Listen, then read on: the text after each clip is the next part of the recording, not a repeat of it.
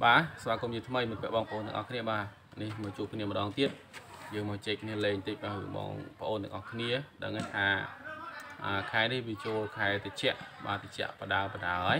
អញ្ចឹងតាមតំបន់ខ្លះក៏តិចតិចតំបន់ខ្លះក៏តិចខ្លាំងតាមតំបន់អញ្ចឹងណាហើយនៅពេញយ៉ាងនេះឃើញថាគឺតិចគូសំដែរឥឡូវបាទគឺតិចគូសំអញ្ចឹងបងប្អូនថែសារសុខភាពឲ្យមែនទែន ចំពោះអឺបងប្អូននឹងងាយប្រតិកម្មជាមួយនឹងអាកាសធាតុជាពិសេសគឺបងប្អូននៅសារផ្ដាសាយជាសបោខែហ្នឹងគឺអូខ្លាំងខ្លាណាស់ហើយសូមបងប្អូននៅសារអនាម័យទាំងអស់គ្នាហ្នឹងហើយឥឡូវឃើញថាកូវីដបាទចាប់ដើមរើទៀតហើយអញ្ចឹងក៏បងប្អូនជើញតាណាមកណាបងប្អូនប្រយ័ត្នប្រយែងមែនទែនបាទបើអត់ការងារចាំបាច់ទេគឺសម្រាប់នៅផ្ទះសិនទៅបាទមួយរយៈហ្នឹង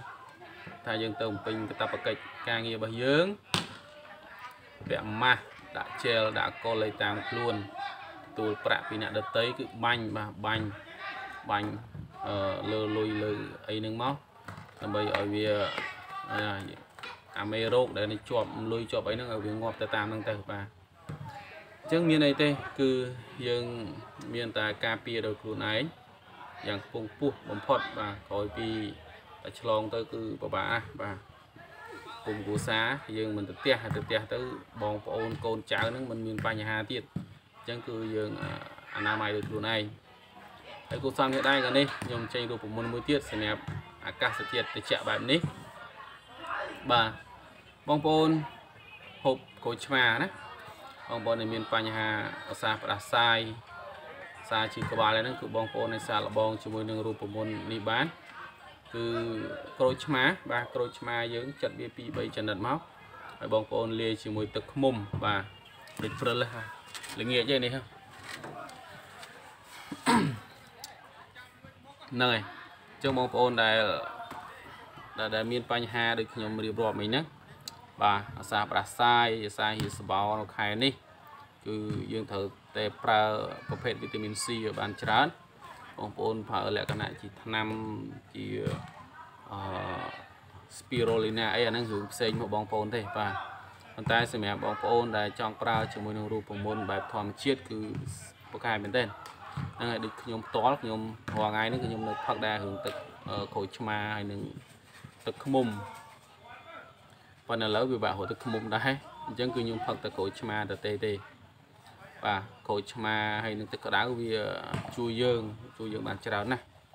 ซึ่งតែមួយឆ្នាំមួយឆ្នាំយើងកម្រងផ្ដាសាយផងហើយវាជួយកាត់បន្ថយបញ្ហាខ្លាញ់រំបេះដូងបាទជួយសម្រួលសរសៃឈាម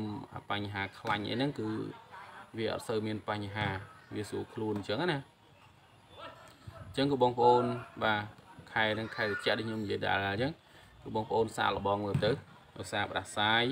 គឺថាឈឺកអីហ្នឹងគឺបងប្អូនចាប់ហាន់ក្រូចឆ្មាពី3ចំណិតមកហើយយើងដាំទឹកក្តៅពុះចាក់ទឹកក្តៅហាន់ក្រូចឆ្មាដាក់3ចំណិត4ចំណិតបើខ្ញុំដាក់មកជារៀងសម្រាប់បងប្អូនថ្មីថ្មីដែលគាត់មិនទាន់ចេះផឹកទឹកក្រូចឆ្មាហ្នឹងក៏បងប្អូនដាក់3ចំណិតទៅបើវាអត់ជូរវត្តល្វីងទេតែដូចខ្ញុំវាក្រាស់ក្រាលណាស់ទៅហើយផឹកក្រូចឆ្មាហ្នឹងនោះផឹកសងថ្ងៃសងថ្ងៃផឹករាល់ថ្ងៃវាផឹកយូរណាស់មកហើយចង់និយាយចេះបាទ ផឹកយូរមកហើយអញ្ចឹងខ្ញុំដាក់មកជាហៀងពេលខ្លះខ្ញុំដាក់មួយដោយសារចាប់ដើមមកដូចជឺកឬกระดาษអីហ្នឹងដាក់មួយអាហ្នឹងបាត់ឈឹងទៅវិញមិនបាច់ប្រើថ្នាំទេបាទហើយបើសិនតែបងប្អូនប្រើជាប្រចាំទៀតអូល្អមួយឆ្នាំទៅមួយឆ្នាំកុំមកផ្ដាសាយដោយសារយើងរៀបពេលខ្លះក៏យើងភ្លេចអត់បានផឹកមកទឹកអីចឹងព្រោះផ្ដាសាយអីចឹងណាអញ្ចឹងព្រោះទៅព្រោះផ្ដាសាយឈឺដូចម៉ូតូមានអារម្មណ៍ថាងេះងោះងេះងោះដាក់មួយបឹប បាទមានទឹកឃ្មុំថែមទឹកឃ្មុំមកសាបៀទៀតអែមបាច់បាទផ្ដាសាយគ្មានហ៊ានមកបៀទេផ្ដាសាយហ៊ានបៀទេអញ្ចឹងគឺងាយងាយទេសម្រាប់បងប្អូនដែលមានបញ្ហាបែបនេះបាទយើងមានអីមានតែយើងថែរក្សាសុខភាពទាំងអស់គ្នាចំពោះរដូវខែងារនេះវាខែងារវាមកជុំខ្ញុំថាឥឡូវវាមានបញ្ហា Covid បាទមកដល់ស្រុកយើងរាលដាលច្រើនមែនតើឥឡូវសារឆ្លងមកវឹកនេះយើងឃើញថាមានការរាលដាលច្រើនអញ្ចឹងបងប្អូនបាទរក្សាអនាម័យ តាណាតណៃសម្អាតដៃសម្អាតជើងស្រួលបួលបាទហើយការណាត់ជួបវគ្គម៉ាស់បានត្រឹមត្រូវវាជាបញ្ហាមែនទែនហើយការបំពន់រាងកាយជាមួយនឹងភាពផ្សាំរបស់វីតាមីន C វាពិតជាសំខាន់វីតាមីន C មិនសម្អាតទៅលើថ្នាំទេណាប៉មក្រូចក្រូចពោធិ៍សាត់ក្រូចហ្នឹងសពោពេញទៅដោយវីតាមីន C ហ្នឹងហើយអញ្ចឹងវាមានអីជាងការអឺការពារដោយខ្លួនឯងអា បំវៀងបានក៏បំវៀងនៅបញ្ហាដែលយើងការណាត់ជួបនេះគឺកាត់បន្ថយទៅបាទនៅថាទៅចាប់ផ្ដើមក្នុងសហគមន៍ហើយបើសិនជាបងប្អូននៅតែមានការធ្វេសប្រហែសអាហ្នឹងវាជាសោតនីយកម្មមួយដ៏ធំធេងអញ្ចឹងគឺយើងប្រយ័ត្នប្រយែងទាំងអស់គ្នាទាំងខ្ញុំទាំងបងប្អូនបាទហ្នឹងហើយអញ្ចឹងវីដេអូនេះធ្វើឡើងគឺដាស់តឿនដល់បងប្អូនឲ្យពិសានៅវីតាមីន C ឲ្យបានច្រើនជាពិសេសគឺក្រូចក្រូច ក្រូចឆ្មាបាទចិត្តវាទាំងក្រូចឆ្មាយកល្អបងប្អូនយកអាសបកលឿងវាអត់សូវល្វីងបាទបើរបបខៀវខ្ចីខ្ចីអាហ្នឹងវាល្វីងហ្មងបាទហើយបើយើងយកសបកលឿងវាកាត់ជូរទៀតអត់ស្អីទេ បាទបងប្អូនអាចពិសាបានអូខេមានប៉ុណ្ណេះទេវីដេអូនេះអត់មានអីច្រើនទេហ្នឹងហើយបងប្អូនដែលមកថ្មីចុច Subscribe អ្នកមួយដើម្បីទទួលបាននៅ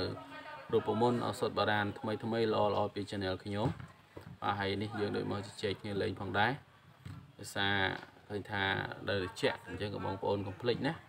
ក្រូចឆ្មាបងប្អូនសាកទៅមួយថ្ងៃ3ចំណិត3ចំណិតមុនពេលចូលដេកព្រឹកឡើងមុនហាត់ប្រានហាត់ពេលដែលយើងហាត់ប្រានហ្នឹងដាក់ក្រូចឆ្មាមកកែវមកមិនច្បាច់យកទឹកទេណាគឺយើង